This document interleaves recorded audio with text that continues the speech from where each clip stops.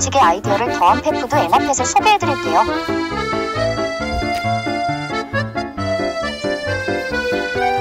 맛있고 부드러운 간식부터 오래 먹을 수 있는 영양 간식 그리고 대형견을 위한 big pet food까지 기호성이 너무 좋아요.